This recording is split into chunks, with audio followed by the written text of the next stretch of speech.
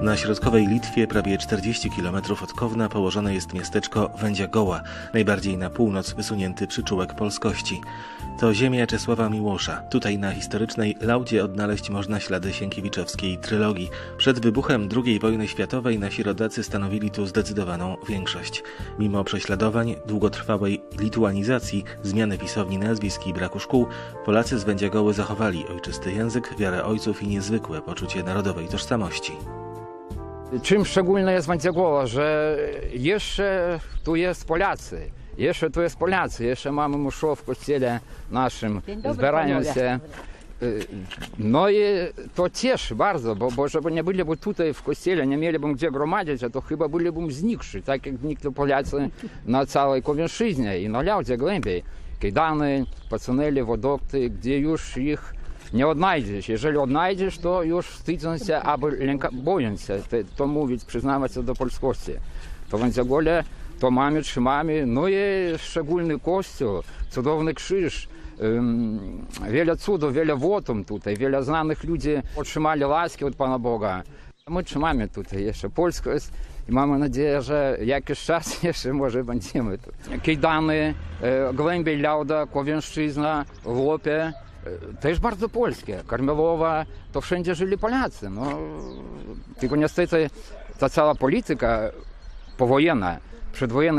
już zaczęła tutaj depolonizować. E, A po, po wojnie jeszcze gorzej było w czasach sowieckich. Wtedy zaczęli mieszać, z tej strony Syberii wywieźli stąd. Oni nie mogli powrócić, te Polacy. Oni odnaleźli miejsce w Polsce. A tu na ich miejsce e, ziemię, i na budynki osiedlali. To my stracili taka miejscowość polska pod samym Kownym, Domikowa, Domikowa. Godlewa, Gardlawa teraz nazywa się, gdzie byli tam jedne Polacy. Teraz tam ich w ogóle nie ma. Jeżeli jest, to boję się przyznać, bo то буде репресія, повідомлю, як то поляки, що того мислять. Наші в Шаткові були поляками, то як ми зараз можемо бути літвінами? Якщо і, і папу, і мама, і дядьки, і прадядьки, всі були поляці, а я зараз зробимося літвінком. То, то неможливо, то так. Хоча ж так буває. Ви ж як це своє Так буває, як це була пер... паспорт перший. Перший паспорт то приношу довод особистий, де написано мама полька, ось поляк. А тобі пишу Літвін. Так, ну я так. тебе. То мой отець Рома Тянковський, шляхтець з Мандзюгольської парафії, зв'язки Будкуни. Ну і тут і моя мамуся посередку. Ну, молода, пінкна, полячка з Мандзюголи. Dziadulki moje tylko po, po polsku rozmawiali, do szkoły przyszedłam, nie umiałam po litewsku za wszystkim, tylko po polsku i w domu cały czas po polsku rozmawiali, teraz mama 6 lat jak zmarła. No i te tradycje takie trzymamy, i wojaczki przyjeżdżali, tylko po polsku słyszałam, te polskie pieśni, gdzie teraz słyszę gdzieś na koncertach, to byłam jeszcze dzieciukiem, słyszałam te pieśni i oni mnie takie, swoje takie ja nie wiem, nie mogę do tak litewskich przywykć. Bardzo dużo dali ojcowie. Зато же вони они уважали мову, и они только по польську розмовляли, то тут все походить от, от, от родини. Я тут urodzony, w, tej, w tych miejscowościach, тут моє korzenie, no він a, cóż, jakoś dobrze się złożyło, że tutaj na Litwie jeszcze jesteśmy. Na szczęście całe. No korzenie tutaj to jasne. Wędzegole, tutaj okoliczności, bywszy poliwark Borek. W Borku jestem urodzony. Borek? Tak jest. Tutaj. Niedaleko. No niedaleko, już teraz nie go. Ми jesteśmy z Lop, no my kolegujemy, przyjeżdżamy tutaj. Jeszcze jak moja babcia była żywa, teraz ona już zmarła, my przyjeżdżali tutaj do kościoła, żeby wysłuchać польська мишо. То було давно, бабці нема, а ми зараз свою цю оцю, то є сестра моєго татуся, вона то ж тут з молодих днів, з малих днів до Ванзагола приїжджа. Мої вуйцові жили, молоді були, женилися і веселилися. Я ще дуже лятросла тут в Ляцькішках. Lat rosłam tutaj w parafii. Moje ojczulki obydwa byli bardzo, śpiewali pięknie na chorach i na pogrzebach, i, i na weseliach, i wszędzie. Teraz my też to- śpiewamy, przyjeżdżamy do Wędzagola, żeby pośpiewać. Na niedzielne msze do historycznego kościoła w Wędziegole zjeżdżają potomkowie szlachty laudańskiej ze wszystkich okolicznych zaścianków. Tutaj przed wiekami modlili się ich przodkowie. Świątynia powstała w połowie XVII stulecia, a w obecnym kształcie istnieje od 1829 roku. Wiernych przyciąga słynąca cudami figura Jezusa ukrzyżowanego, do której pielgrzymował również Adam Mickiewicz. Jest to jedyne miejsce na Laudzie oprócz Kowna, gdzie do tej pory rodacy mogą modlić się po polsku. Ponad trzy lata temu miejscowy ksiądz Oskaras Wolskis zorganizował protest przeciwko dyskryminowaniu w litewskich urzędach swoich parafian. Nowy proboszcz w Wędziegole o prawa Polaków już nie walczy. Пані ранення було так, таких відпусток, вон пан Вашкевич Станіслав пам'ятає, що тут 90 лет принку бенділа. Но вже не було таких відпусток, вже бо куляноміна уколо ултара, коня кустьола, шедлі куляномів по тих бруках шенділа, аля по 3-4 кулеї шедлі, я ж там пам'ятам, як мовив. А зараз жадко кеди на уколо ултажу їду, кеди, як мовив. Ну, друге, може, не можу, як мовив. А млода то ж нема, там не можу розповідь на контомлодиху. І мірім одного пробоща такого вольське був, зараз він в Норвегії виїхавши. То правдивий був пробощ, як мові, а зараз таке. Так дай пенензи, дай пенензи, żeby on na maszynę mógł bo zamienić. No nieprawda, prawda mówię. Raz no, polski księdza nie mogą tu przysłać? Pani, u nas strasznie Polaków tych mało już jest. Tu dla kilka Polaków, on, on, my nie wytrzymamy jego. Trzeba jego wytrzymać proboszcza tego Polaka, no. Widzicie, bardzo rzadko, to dzisiaj jak matko w dzień, to troszkę więcej nabrалось, a tak kilka, no więcej, 10, 12 ludzi przychodzą, nie idą za wszystkim. I kościół na miejscu, przez okna patrzają, nie idą do kościoła. No co zrobisz, takie ludzie, no. Tak nie zaszczepiona pani jak w Polsce. U nas nie szczepią maleńkości tych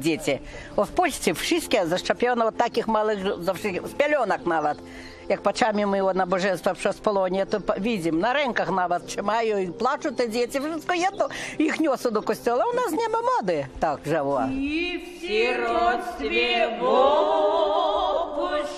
попущенню, і в тесноті, і в терпінню, і в обуї.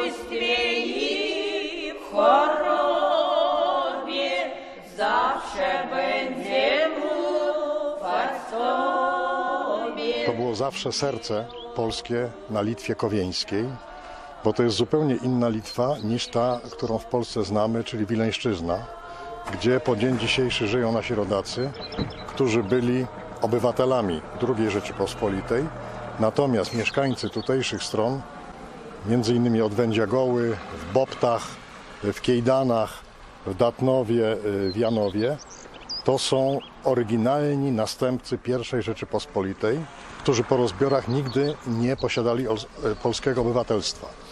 Ale bardzo wielu z nich y, służyło w Wojsku Polskim po I wojnie światowej. Między innymi była taka dywizja litewsko-białoruska generała Żeligowskiego, która składała się z pułku piechoty Kowieńskiego, Grodzieńskiego i Mińskiego nawet. No i to jest ten taki ostatni występ polskości, który został. Jeszcze w latach przedwojennych, czyli relatywnie niedawno, przed rokiem 45, miejscowa ludność takie powiedzenie miała. Od Datnowa do Janowa wszędzie słychać polska mowa. A jak mama мы miała na imię? самоучки, сами, сами у себя выучившиеся. Ни мы писать нас них не учил, ни нам э, ни розмовлять не учил. Як уйцове выучили, так и мы розмовлями. О летании, то то мы сами książki по польsku czytamy. A tak książkę wziąć czytać nie bardzo. Te litery nie, jeszcze nikt nam nie wyuczywszy. Ale latanie o tu na pamięć i tak wszystko umiemy. I pacierzy, wszystko po polsku. Nie była pani w Polsce. Nie, nie byłam. przybieramy się, wszystko przybierali się do suwalków. От і одна сестра так само мала охота до сувалків заїхати. Але от і хоч по-польську послухати, як там правдиве по-польську розмовляю. Любя э, слухати, як хто по-польську już розмовляє. Слухала б і слухала б. Як пробуш наш вольський пінкня розмовляє, теж слухала б і слухала б. Bardzo pięknie неприїзна з тим, як я тут і на місто. Ту шлюб брала в тим постеля, тут цурка брала шлюб. Всі тут є ми. Оту бабуня моя на на тим смонтажу похована. Ну і як ми тут до школи ходили, ту всі воно. Дядки, прадядки то наші були, всі у нас дядульки дедульки прадедульки, все поляцы були. Я сам местом поляк, от маленько сипа и потеже, и пшиску то, то е, як, як тому тушку тим кустеля. Ну, були на Сибіжа 10 лет мы были. Там пожили troszeczkę. Будинки були такі слабо у їх там, як ми. Я пам'ятаю ще, але землі мали, ну, мали кров Ну, трошки, діти в душу мали, зато вивезли. Там ще була сила, щоб працювати там, на Сибірі. А ту бабця зосталася, м, тасьовий моєї мама, зосталася, і дядуляк зостався. Ну, то де, як ми? Вони хотіли до Польські, мали документи, wszystko, але бабуня написала так в лісті, що Цурка кохана же, е, пташка і та на твоя родина прилятує, а ти полетиш на цуда родина, де врацай на Литва. Ну і врацили всі в атаку. Ну, Брат ще там зостався, один, але вже змар нема. На Сибірі зостався його, Юліан. Уженився там, вяюшек мові, жона мав, діти мав, то он там, тут як мові. Живеш, там, там далеко бар. Там і як мові, так, як мові. Так от і... А вони всі приїхали, сестра, И два братья приехали, и мама, и папа приехали. Так, пани, муж ще и я налязла своего, приехал для меня мужем. I zaraz pobraliście się, tak? Tak, a ja tutejsza jestem.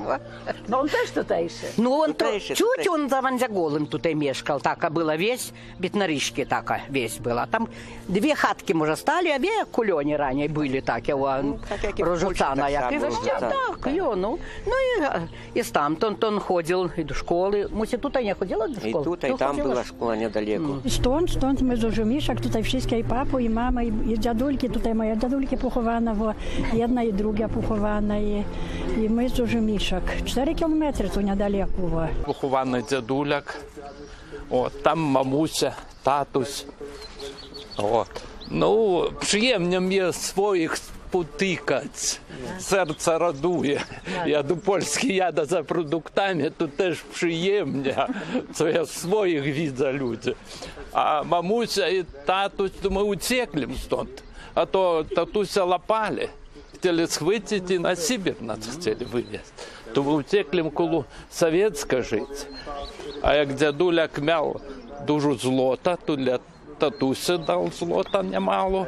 І там зразу дом вистроїли, і там жили. І я там кончила школа, і там дали диплом потім To gdzie to, gdzie to tam? коло Советська Паня Муна. Тильжа, Тильжа. Тильжа. Да, угу. да, там жили. И потом в Ручи. Потом уже Дуковна в Рутилем. Угу. Рутилем Дуковна. Только на свою землю, не? Не, на своє землі ж ми не врутили, тільки зараз ми часть землі удали, ну, часть не удали, видите, як Литвіні.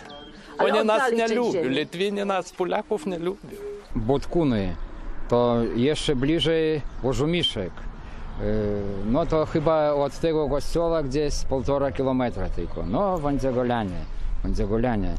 Mieli swoje ziemię, kiedy potem e, bolszewiki e, odebrali i mój ojciec wieczny pokój zawsze mnie opowiadał i mówił, że czekaj, wszystko jedno, ta władza przepadnie, bo nie może być taka niesprawiedliwość, Pan Bóg nie dopuści. I ja wierzyłem, wierzyłem, ojciec prawda nie doczekał, ja doczekałem, kiedy zginęła ta sowiecka władza tutaj, ale niestety bardzo boleśnie, za to, że potem musiałem przejść wszystkie sądy litewskie dla odzyskania ziemi ojcowskiej. Takiej wszystkiej nie odzyskałem, odzyskałem w jakich to kawałkach, nie oddali w miejscu, co było. Ale to mnie bardzo dużo kosztowało zdrowie i faktycznie 18 lat trwała ta cała sprawa. I te sądy od y, wszystkie te trzy etapy litewskiego sądu przeszłem. I faktycznie Я видок сонду, то і мені вона не належала. Дуже, дуже не зіскало. Єжелі хто його зіскали, але не на те місце, далі там десь, десь, десь ж нікому не потрібно. А тут забрали, э, ну, забрали тих, хто доходили до цієї інформації, до влади. Вони побрали ніц не міць, побрали по 50 гектарів. Вони були в тим часі влади, вони виділи цю інформацію. Wszystko, a już nam nie została tej ziemi. Państwo litewskie powstawało w kontrze do państwa polskiego po I wojnie światowej.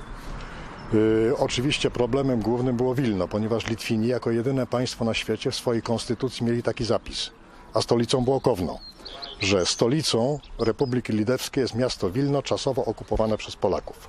W związku z tym aż do 1938, 1938 roku pomiędzy Polską a Litwą nie było żadnych kontaktów. Tory były rozebrane, y, telefony były wyłączone. Polacy z y, Litwy, z państwa litewskiego nie mogli jeździć do Polski, a Polacy z Polski nie mogli jeździć na Litwę, a mieszkało wtedy w państwie, które liczyło około 2,5 miliona e, obywateli, 200 tysięcy Polaków. Czyli ponad 10% mieszkańców tej przedwojennej Litwy, Litwy Kowieńskiej to byli Polacy.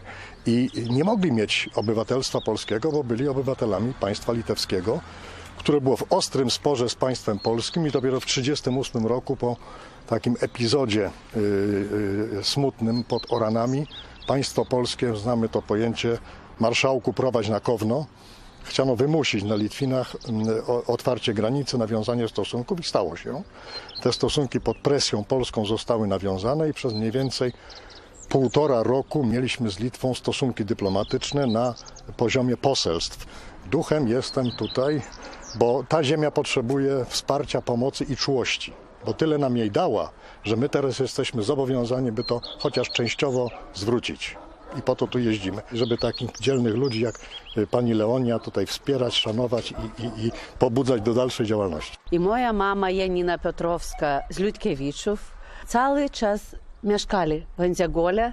Tu, y, tu chodzili do kościoła, Tu zbierała się rodzina, było bardzo wesoło, bo moja mama bardzo lubiła śpiewać. No, odeszli na lepszy świat. Mój tato już 10 lat będzie, mama якраз o 5 lat zeszła się.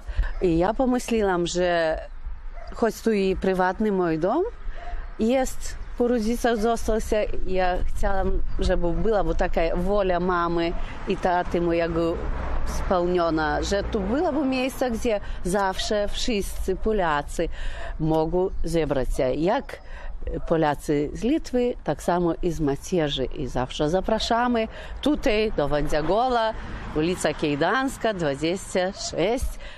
Byliśmy w tym domu, kiedy jeszcze to był dom rodzinny Leonii i dalej zresztą jest domem rodzinnym Leonii. Żyła jeszcze mama, spotykaliśmy, śpiewaliśmy polskie piosenki, przeglądaliśmy dokumenty z dawnych czasów, a teraz Leonia, pan Rysio, miejscowi rodacy, Wędziagole postanowili nie czekać na obiecaną pomoc Polski, która była obiecana. Miał tu powstać dom polski w Wędziagole. Czekali, czekali się nie doczekali, aż Leonia przekazała swój dom na Bibliotekę Polską. Pan Rysiu pewne, y, pewne trudne decyzje musiał podjąć finansowe, o których nie będziemy mówili. I mamy ten piękny dom. Proszę, biblioteka za nami proszę, urządzony bardzo pięknie. Jeden pokój, drugi pokój. Wystawa. Wystawa. I rodacy Wędziagole spotykają się u gospodyni Leonii Piotrowskiej, która tutaj wszystkich dzielnie przyjmuje pod kierownictwem pana Rysia, a my z tego dzisiaj korzystamy. Sześć lat nazad, e, koniec lata, my z mamą zbieraliśmy gotować litewska potrawa cepeliny. Ну і ж зготували, ну та не так дуже. Ришард дзвонить, мові, гості приїхали, професор, приходимо до вас в гості. Я мовлю, прошу, прошу, а, але так ну, а прийшли, wszystko. Podzieliliśmy się pyrenami, ugościli czym mieli i bardzo e, ładnie porozmawiali. Moja mama uśpiewała pieśni. profesorowie bardzo oni podobali się, tak. I no, była wesoło. Może nie było tutaj, wiadomo, nie tych remontów, nie biblioteki polskiej, ale mm, polskość była w sercach i w tym domu rodzinnym. I przyjaźń trwa od tej pory. Nie mielibyśmy domu, byłoby trudno nam tutaj być, za to, że mamy problemy z miejscowymi władzami, gdzie nas не впускаю он в, в Центр культуры, хоть он есть в Андиголе, но я там в Литвине, и они говорят, ваш, в наших планах вас тут и нема. То ж это вы тут и не можете. Вот как бы вы имели свой, своих родных, Wtedy my tam postanowienie, jaka zrobią, że dla Polaków tam coś takiego trzeba, można, nie można. Litewska władza, która jest teraz tutaj, te, nam tego nie dają. I wtedy powstała tak, aby my istniemy tu jak, musimy gdzieś mieć jakieś pomieszczenie. No i Leonie Mamusia była Polaczka, śpiewaczka chóru kościelnego, wszystko, zawsze tutaj gromadziliśmy tutaj, no i po jej śmierci dziękujemy dla niej i dla, dla córki, która mówi Wiesia. No i wzięłem. Ja jestem ogromnie zaskoczony i jednocześnie ogromnie zbudowany e, tym, że mm, polskość na tych ziemiach trwa e, odwiecznie i w dalszym ciągu. E, no i szkoda, że e, wydawałoby się, że współcześnie będzie tym naszym Polakom dużo lżej, dużo łatwiej, a okazuje się, że nie. No i szkoda, ale mm, widać, że ten duch jest silny. Ja zawsze tak mówię, że ta ziemia do mnie mówi, a ja mówię do tej ziemi. My czujemy kontakt. Mamy interakcję z tą ziemią. Dlaczego? Bo ja wiem, jak piękne postaci ta ziemia wydała. Ja wiem, jakie to jest genius loci. Ja wiem, jaka tu powstała cudowna poezja, cudowna literatura, jakie tu wyrosły wspaniałe charaktery. Dlatego jak tu jestem, to ja czuję te, y, te charaktery, ja z nimi rozmawiam, oni ze mną też rozmawiają. Jesteśmy teraz w samym centrum Doliny Isy, gdzie i narodził się noblista, e, poeta Czesław Miłosz. Przyjeżdżał i nie jeden raz spotykał się z mieszkańcami, przyjeżdżał z bratem, przyjeżdżał swoją żoną, przyjeżdżał z synem. Całe życie tęsknił tej i, doliny, tęsknił rzeki, tęsknił swojej ojczyzny. Tutaj bardzo jest dobrze. Tak, tak przyjeżdżasz i pochodzimy, pobędziem i, i tutaj bardzo, bardzo jakoś, e, no nie wiem, może czuje się jeszcze Milosza e, energię, cieszy się, no wszystko, coś się tutaj jest. W wydanych wspomnieniach Czesław Miłosz tak opisuje rodzinną ziemię. Szetejnie, Ginejty i Pejkstwa. Tak nazywały się wioski koło dworu Szetejnie, gdzie się urodziłem. Dolina Niewiarzy wrzyna się jakby wąwozem w równinę, skąd nie widać ani parków, ani resztek dworów. Podróżny jadąc dzisiaj przez tę równinę nie domyśla się, co kiedyś na niej było. Znikły dymy wiosek, skrzypienie studziennych żurawi, pianie kogutów, szczekanie psów, ludzkie głosy. W tym kościele był ochrzczony Czesław Miłosz, gdzie on potem pięknie mówi, że to otrzymałem chrzest i wyrzekłem się diabła. I była odnaleziona metryka urodzin i wręczona dla poety, kiedy on tutaj gościł w 92 roku. To ta plebania, gdzie opisuje Dolinie Isy, gdzie dusza niespokojna błądzi nocami po dziś dzień. Księdzy, które tutaj próbowali żyć jakoś prędko, dużo pili, bo im tu niespokojnie było i potem zdecydowali, że tu lepiej nie żyć. Mam tutaj do tych naszych rodaków y, na Kowieńszczyźnie szczególną atencję, bo gdy w 1939 roku we wrześniu 23-letni podchorąży kawalerii Zygmunt Winnicki, mój ojciec, wyruszył na wojnę, zmobilizowany pod Wołkowyskiem, Niemców prawie nie widzieli, tylko Armię Czerwoną, 27 września 1939 roku przeszedł rzekę Mereczankę, ówczesną granicę polsko-litewską i został internowany. Litwini mieli, zrobili drugi z polskich obozów oficerskich. Z tego obozu birsztańskiego uciekł do pierwszego napotkanego zaścianka, tutaj gdzieś pod Kownem i oni go przechowali tam. Za to przetrwał i ja za to kocham rodaków na Kownieńszczyźnie. Staram się ich propagować, o nich pisać i przyprowadzać takie zacne ekipy, za którymi pójdzie następna dobra sprawa dla Laudy.